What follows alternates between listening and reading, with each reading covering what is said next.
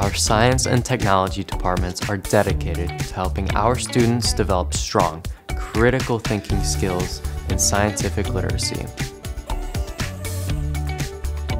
From biology and chemistry to robotics and computer science, our newly renovated, state-of-the-art STEM systems are designed to encourage collaborative learning. Check it out